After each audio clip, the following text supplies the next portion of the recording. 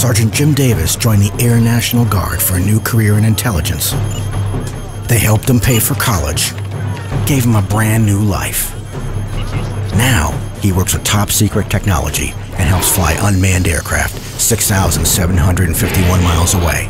And because he's in the Air National Guard, he goes home 2.1 miles away.